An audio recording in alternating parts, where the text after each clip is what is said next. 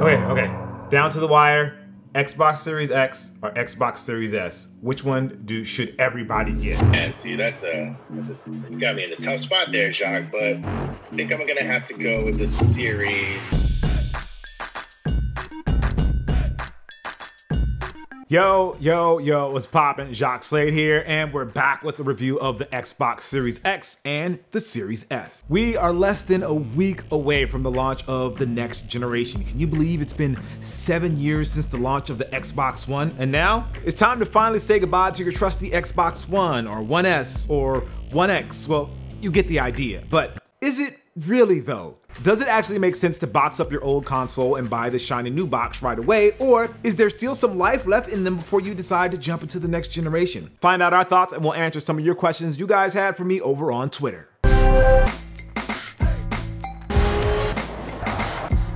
So you heard us talk about our impressions of the Series X and do a full unboxing of the console in our last video. It's rather impressive that after years of looking at funky shaped monolithic boxes for our video game consoles, Microsoft managed to top them all with the Series X. Seriously, it's like an ominous building you would find in a movie about a post-apocalyptic future and yet, if you didn't know it was an Xbox, you might think it was like a smart speaker that could give you the weather and the traffic on the 405. Yo, hey Series, what's the weather right now and the traffic on the 405? It is currently 75 degrees of kiss my I am a video game console, not your smart speaker.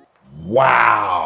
With 12 teraflops of GPU power, that's double of the Xbox One X, and it's on par with the most high-end PC graphics cards. Combine that with the console's Velocity architecture that speeds up loading times by a huge margin, support for ray tracing, quick resume, and 120 frames per second gaming, the Series X is a hardware beast. In sneaker parlance, this is the signature shoe, the Air Jordan or the Nike LeBron of this generation. And if it's the signature shoe, that also means it's going to be priced like one. At 499, the Series X is quite the investment. Thankfully, it's the same investment that you made with the 2013 Xbox One, and we didn't get a price bump in the wrong direction, but $500 is still $500. Granted, there is Xbox All Access that allows people to sign up to get a console and pay it off in monthly installments, but at the end of the day though, you have to ask yourself whether you're ready to ante up again. And if the answer is maybe, well, Microsoft thought about that this time around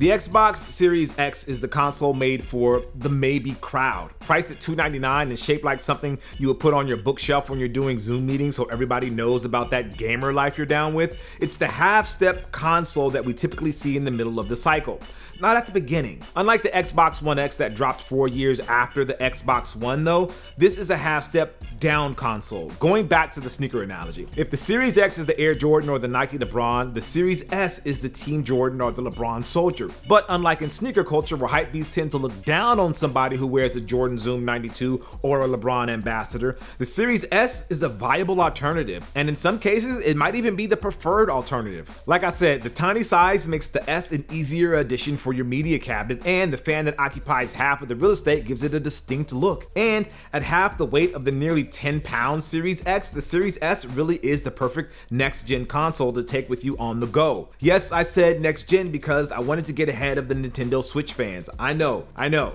Okay, so this is the part of the video where I lift the Series S with ease and it becomes a gift for people to poke fun at. Whatever. Anyways, Running at 4 teraflops, the Series S and the Series X power difference in raw numbers might be wide, but it's going to be up to each individual game developer to really show off that gap. While the Series X is capable of displaying visuals at 4K, the Series S maxes out at 1440p, although there are some 4K caveats to the S, which again depends on the developers. At the same time, the Series S is also capable of ray tracing. It has the same velocity architecture for speedy load times, quick resume, and can support games up to 120 frames per second The bottom line, pretty games for the Series S, but they'll look prettier on the Series X with the 4K TV. For most people, the difference between the X and the S will come down to the price and the lack of a disk slot and the smaller hard drive space on the S. The console also comes with the same number of USB 3.1 ports at 3 and HDMI 2.1 out and can handle internet speeds up to 1 gig per second. Huh, 1 gig speed internet.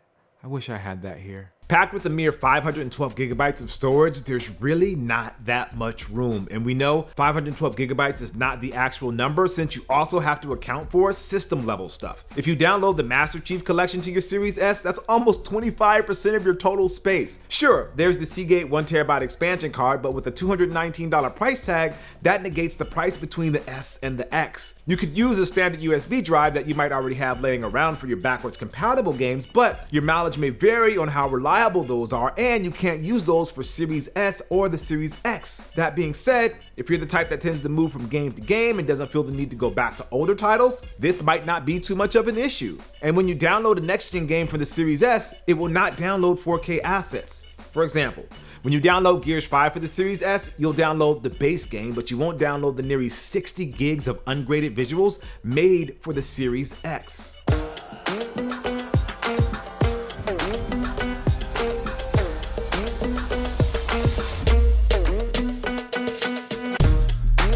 So, what happens when you turn on your fancy new box for the first time? It'll probably be a shocker because everything will look familiar. I mean, even the controller you'll have in your hand is going to be familiar right down to the shape. The Series S and Series X controllers feel like streamlined versions of the Xbox One controller, and that felt like a streamlined version of the Xbox 360 controller.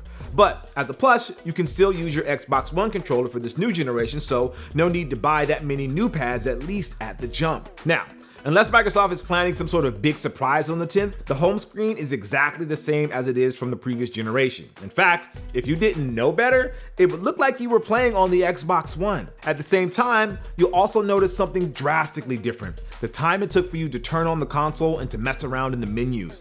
It's fast. Like, you know how on the Xbox One X you have to watch that totally unnecessary yet totally abusing 4K video on the console's chipset every time you turn it on, then you're just waiting for everything to load and take you to the home screen? Well, with the Series S and the X, you ain't got time for that. You power up the console, you get an Xbox logo, and a few seconds later, boom, you're at the home screen. It's night and day. It's like the sensation of getting a new phone after a few years. Yeah, the home screen looks exactly the same, but everything moves so much smoother and faster. You notice the time it takes your game library to populate is basically instant. Everything just moves at a quicker pace that I just can't help sing the praises of the Velocity architecture, which I still contend is the best name for hyping up how fast the console performs since blast processing.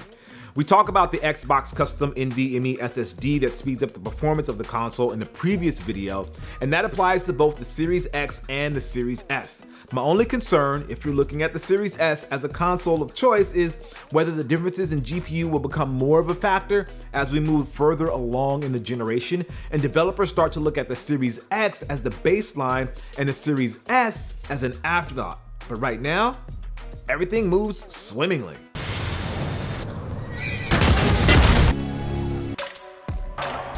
Now, you've probably heard a bunch of buzzwords and catchphrases when describing what the big deal is with the new Xbox. Velocity architecture, which we've already covered, but then there's quick resume.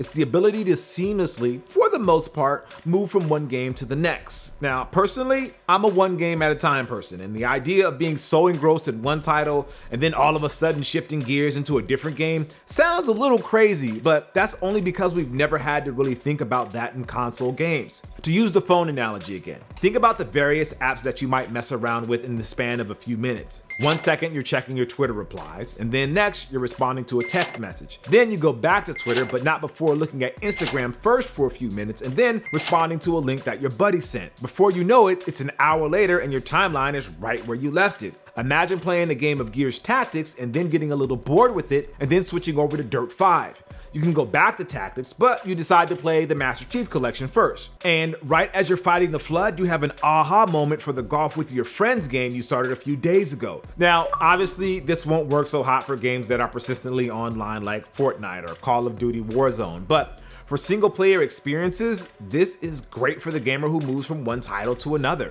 If anything, quick resume sometimes works too well. Like I've tried finishing up a game, saving it, and then turning the console off for the night. The next time I turned it on and played that game again, it goes right back to the save complete screen instead of the title screen like I never left. It's a neat feature that I think is going to get a lot of hype right now and good for that. But I personally don't see myself using it all that often if we're just gonna be totally honest. Now, the funny thing is, I like how we've gotten this far in the video and we haven't yet talked about in detail the biggest reason why gamers get new consoles the graphics. So you might ask, but Jacques, how does the next gen look? Honestly, that's a tough question to ask right now because there are not that many examples to draw from. Yes, Microsoft is hyping this launch as their biggest ever because thousands of games will be available on day one.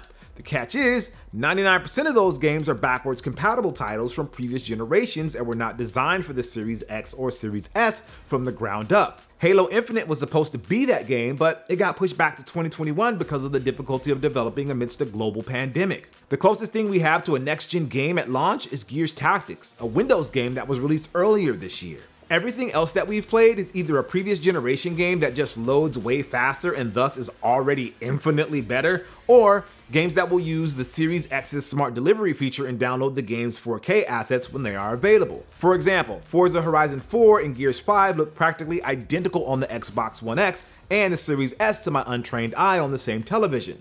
But when you put those versions next to the Series X on a 4K TV, the differences are stunning. It's really just gross the more I think about it. My one nitpick so far with the graphical side of this new generation is that there will be more games like Dirt 5 that will ask you whether or not you want to play the game with prettier visuals or a faster frame rate. That's normally an option that we see in PC gaming, but to see that to become more commonplace in console gaming, it's a bit of a bummer. Like, I just want the game to run smoothly while also looking pretty. I don't want to have to worry about sacrificing one aspect for another. As I have mentioned previously, my gaming history is one that can be defined as casual. I played a ton of OG Halo in college, LAN parties for the win, but then when I got into the real world, I had to balance life, gaming, and career and unboxing.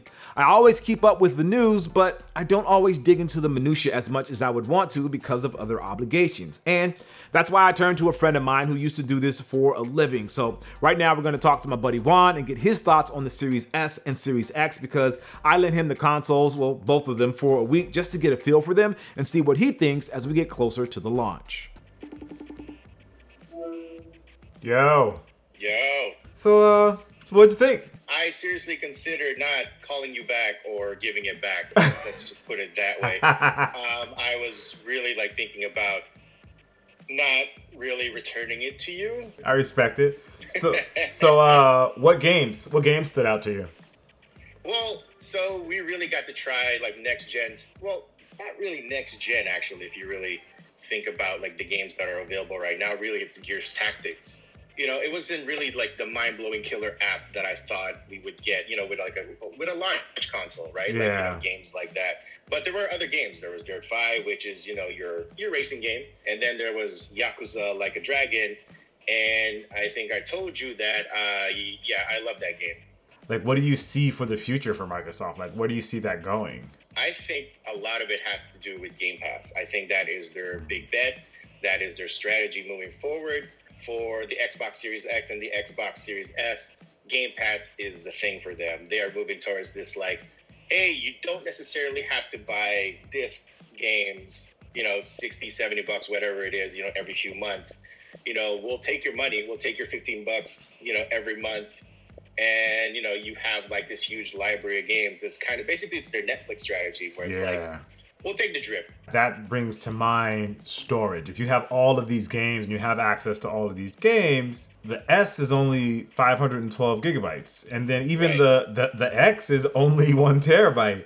And Right. we know how big games are now. Like, you're going to fill that up pretty quickly. Uh, it's gonna be tough. I mean, you know, that's the other thing too. Is like it seems like it's not enough. I understand why Microsoft wanted to price these consoles the way that they did, four ninety nine and two ninety nine. Those are like anything above that would just be a little egregious for like the consumer at this point because you know obviously with everything going on in the world it's kind of like this is going to be the gamer who's going to use quick resume a lot right? Like he's going to be like switching he or she's going to be switching from like game to game. Are you going to be the type of gamer who's going to store a lot of games in your hard drive and just keep them there forever?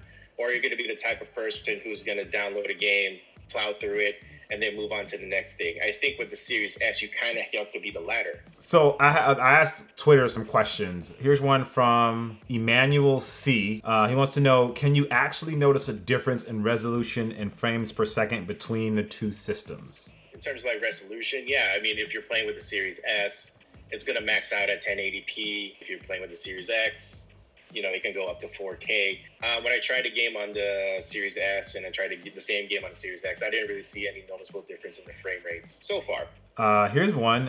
Uh, I didn't experience this when I was playing, but fan noise. This, this is from iHeart Sneakers. It says fan noise. Does it get loud? You know, when I was playing Gears 5, I think the loudest it was was in Gears 5, but it wasn't like noticeably loud. It didn't sound like a jet engine, but we'll see once you know games really start pushing that hardware to its limits and see how loud it can get. But for right now, no, there wasn't anything noticeably loud in terms of like the games that I played. So, the moment of truth, right?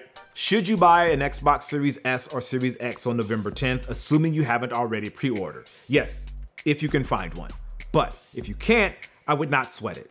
You should not go out of your way to buy one of these new boxes right now. If you consider faster loading times a killer app, and honestly, it might be if you think about the time you're saving compared to previous gen, then okay, you should get one. But if you're holding out for that mind-blowing launch title, you're not wrong for waiting this one out. Now, if you can find one in the store that just restocked or you can get one through Amazon or Best Buy's product pages, great.